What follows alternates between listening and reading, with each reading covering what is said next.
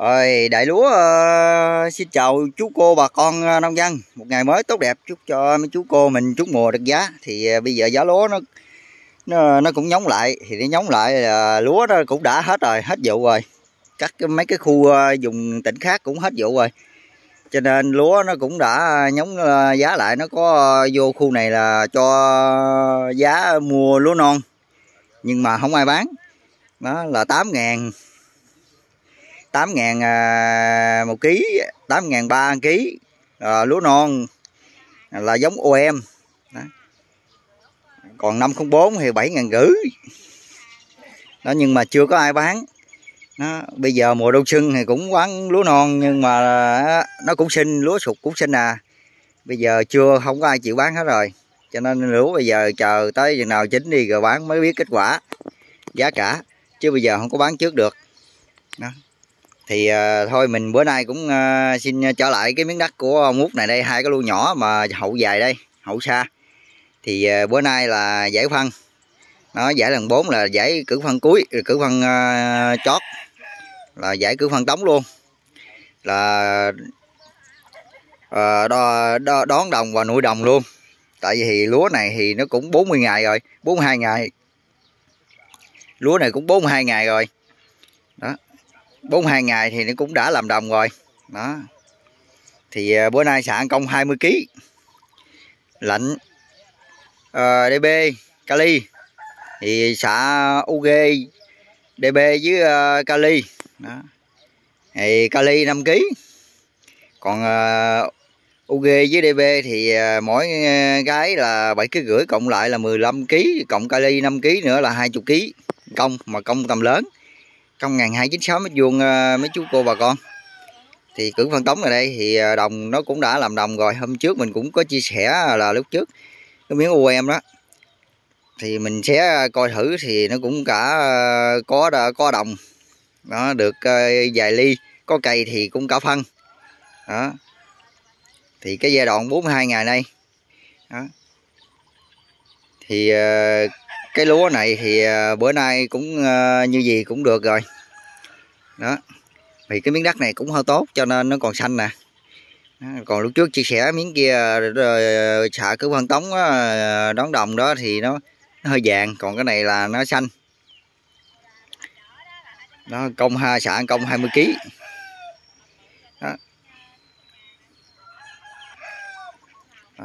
thì ờ, cái miếng đất này bữa nay ờ, đón đồng ờ, rước đồng là tổng cộng lại là, là được 70 kg thì cũng dứt phân luôn không có gãi nữa không có rước hạt gì hết. Là hai cái miếng này đó giờ là không có rước hạt. Đó là bữa nay. Đó là cái khu vực này cũng là chi tô mang giang. Đó cái này thì, thì xã khác xã lương trà. Ừ. thì bữa nay mình trở lại hai miếng nhỏ này đây mình giải phân cho ông út này kỹ thuật của ông thì bằng vậy. Nhưng mà bữa nay thì ông có trộn thêm à, mấy cái gói à, thuốc đợt trước mình cũng chia sẻ đó, ông cũng trộn à, mấy gói thuốc đó đó. Nó cũng giống humid nhưng mà cái loại đó dạng cát. Đó. Thì cái này là giống lúa OM 18 mấy chú cô bữa nay được 42 ngày là giải cứu phân đó, thì mình sẽ chia sẻ phân cho mấy chú cô mình xem.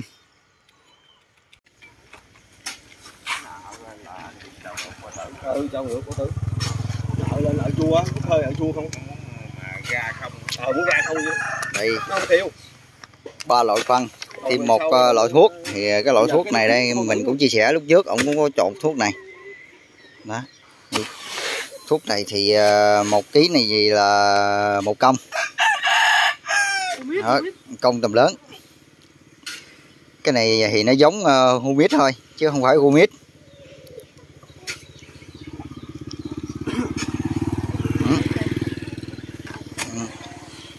nó cũng giống humid mà nó cái, cái bao bì nó không phải humid ừ.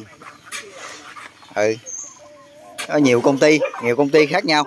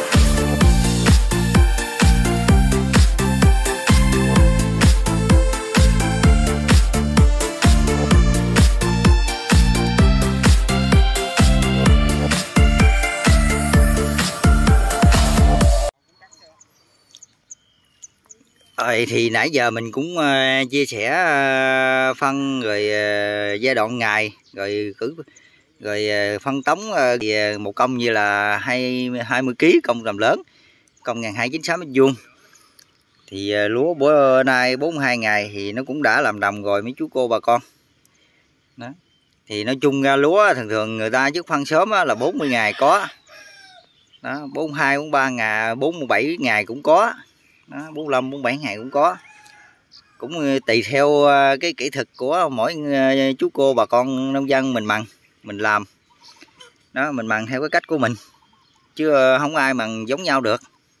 Cũng tùy theo lúa nó lúa lúa vàng quá lúa xanh quá. Đó cho nên mình cũng không có làm theo được. Tại đất ở đây thì nó không có trên lệch nhiều lắm. Miếng thì cao quá miếng thì thấp quá. Ở khu đất ở đây cũng còn xấu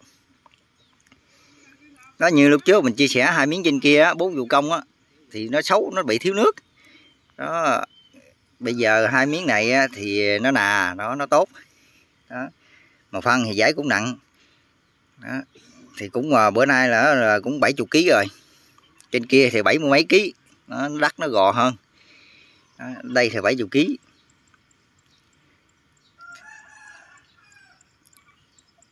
thì cái giai đoạn này à, cũng ờ, được à, như kỹ thuật con ngút thì à, năm nay thì à, ổng à, rước đồng sớm. Mà cũng dứt phân luôn. À, rước đồng đón đồng sớm cũng dứt phân luôn. Không rước hạt gì hết không gãi nữa. Đó. Ông nói bây giờ mùa này thôi nghỉ rước hạt à. Không có rước hạt gì hết. Mà miếng này đó giờ cũng không có sợ rước hạt. Có hai lô trên kia thì rước hạt. Đó. Thì à, tổng cộng bởi vì ông xạ văn tống này á là 20 kg tổng lại là được ờ, 70 kg giai đoạn ờ, 42 ngày. Thì ờ, mấy chú cô thấy cái dàn lúa này bà con thấy dàn lúa này mình chia sẻ bình luận đâu coi lúa này dứt đồng đón đồng sớm hay là đón đồng trễ hoặc là à, dứt phân sớm hay là dứt phân trễ đây. Có còn giải nữa không? Mình chia sẻ đồ có với nhau.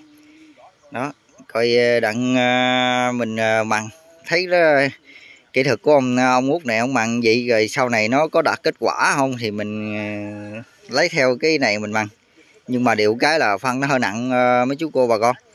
Mà nói chung là đất ở đây bây giờ là bằng phân ít là không có năng suất nhiều đâu. Ừ, không có năng suất nhiều. Ừ, như mùa cái vụ hè thu này là mấy năm trước là bằng phân là khoảng chừng 50 kg trở lại ha.